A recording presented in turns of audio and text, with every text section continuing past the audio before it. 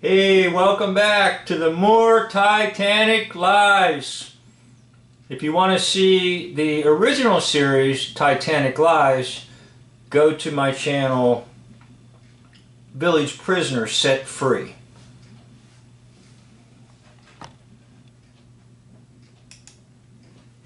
How do you pronounce binoculars or lenses for viewing faraway objects? We have four beats. Ba, knock, you, lures. Binoculars, binoculars, binocular. How do you pronounce binoculars? Thank you.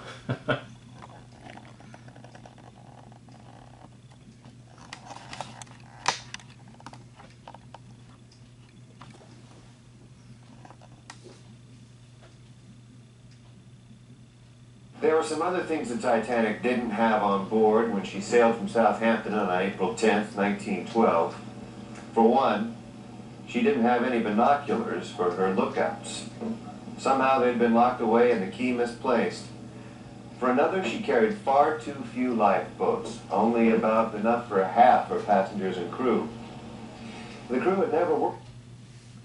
Okay, let's talk a little bit about that, the binoculars. Did you like hearing her pronounce binoculars?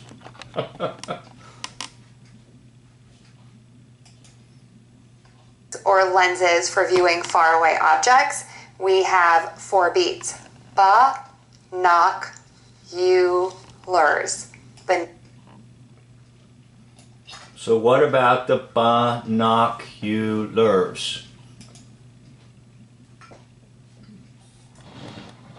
Now you have to understand that the Titanic, the real birth of the Titanic is in literature.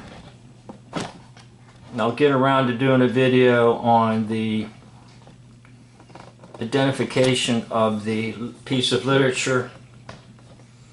It serves partially as a script. So it's not really born in a shipyard, it's born in a writer's desk. And it contains symbolism. So you have symbolism in the whole understanding of no binoculars. Now, at first he said there was no, no, no binoculars on board. Well, that wasn't correct. It's that they were on board and they were locked up and they couldn't get access to the key. So the story goes. Now, it's a storyline and it has significance in literature. So they are symbolizing the bringing of perspective and representing the subconscious mind.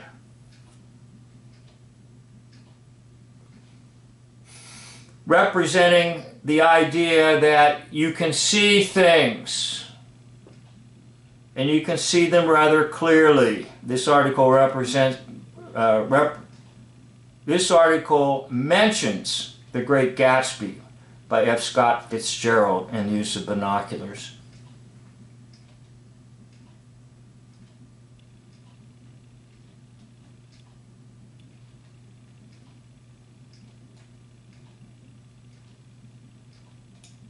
They're associated with adventure and exploration, and curiosity and wonder. So, just the mere mention of them gets your curiosity. But once again, they're used for focusing and focusing in things that are far off. So, in other words, there's no focus.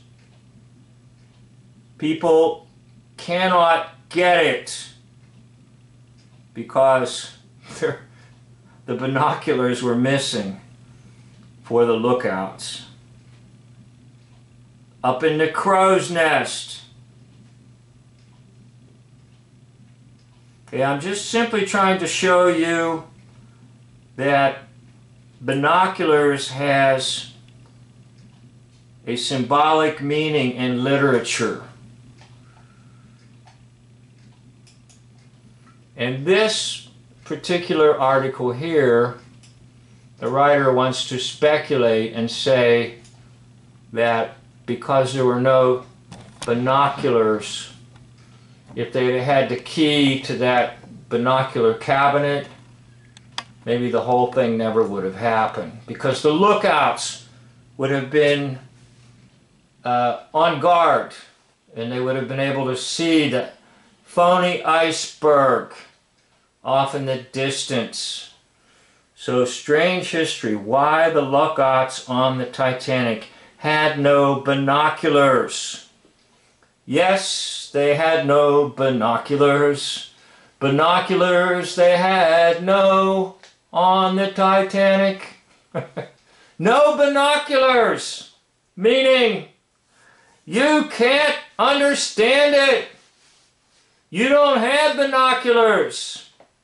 You don't have perspective. You're not in the cabal system. You don't understand hoaxers and liars. The whole thing was nonsense. Fictional. Dreamed up in literature and passed off as an event in reality. It was real, R E E L. Fictional. A reel running through a movie projector.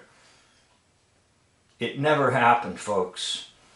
That's why there were no binoculars for the lookouts in the crow's nest. Thank you for watching this video. End of video.